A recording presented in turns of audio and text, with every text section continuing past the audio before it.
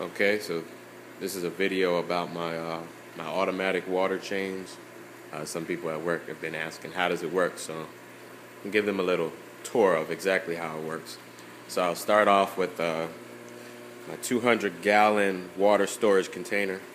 It's a Norwesco 200 gallon vertical one, right there as you can see. Right now, I probably got roughly about a little less than 150 gallons in there, I guess. So inside this water storage container, there's a couple of pumps. Uh, one, it'll pump the uh, new salt water out through this bulkhead right here and into this drain that drains down into the sump.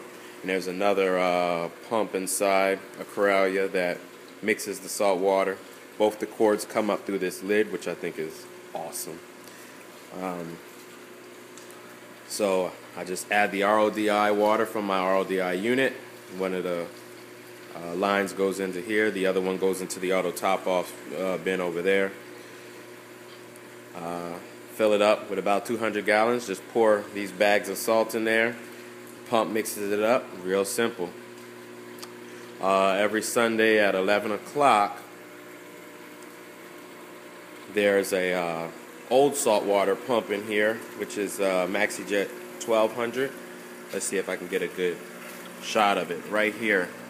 It'll turn on at 11 o'clock and it'll pump the old salt water out. It'll pump the, roughly about 10% of the water out, so maybe about 15 gallons. Um, at the same time, my return pump will stop. This is a uh, MAG 24. It'll stop and so this sump will fill up almost to the point where it's about to overflow, but it won't overflow because the uh, old salt water pump will pump that water out of here. So everything else stays on, that just turns off. So that'll do that, and it'll continue pumping the water out until uh, a certain time, and then the new saltwater pump will pump the water back in here until that float switch is, tripped right there. Once that float switch is tripped, it turns off that new salt water pump and then everything returns back to normal. The return pump comes back on. Everything's good to go. So when that happens, uh, I'll come back and show you exactly how that happens. So this water change should take place in about a minute. I think it's got about a minute before it actually cuts on and starts. So it's my refugium.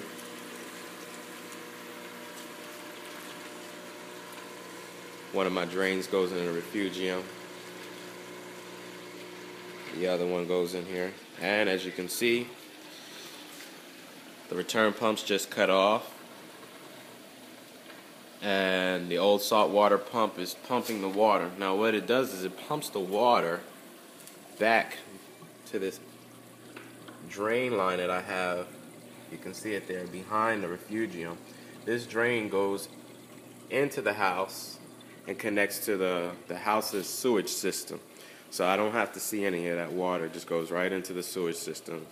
Goes bye-bye. Also, my RODI unit's wastewater line also goes into that. If you've seen in other videos, goes into that same line so I don't have to see that water either. So as you can see, sump's filling up, but at the same time, the old saltwater pump is pumping that water out. It'll do that for about maybe eight minutes. And it'll keep pumping it out until the water level drops below that float switch. But the only problem I've been finding is that uh, this water level in this side drops down before this one does. I have to adjust the float switch, but that's fine. It doesn't matter at this time. So you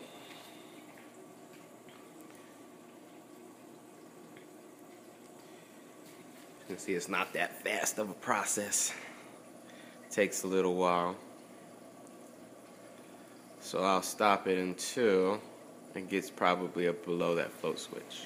So I'm back, as you can see, because of the position of the float switch, which I'm gonna have to correct. You can see uh, it's definitely uh, draining more on this side, but that's okay because I've adjusted it to only run for about another minute, so it won't completely drain out that side. So it'll probably do a little bit more than 15 gallons out of my sump. But that's all right. But in about a minute, it should kick on, and my new saltwater pump should kick on.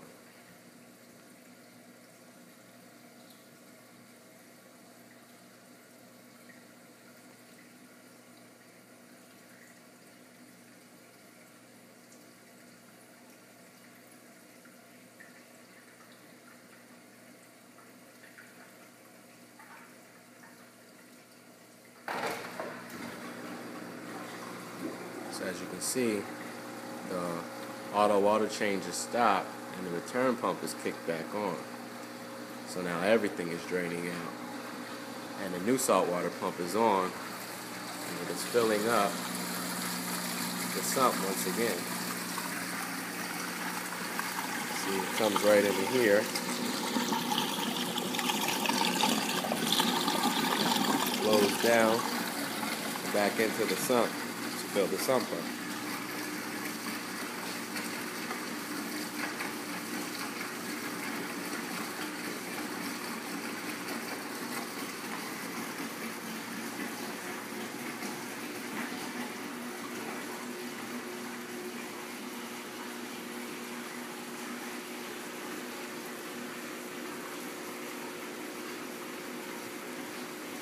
quite a noisy process, but fortunately all of this is in my garage, so I ain't got to worry about it.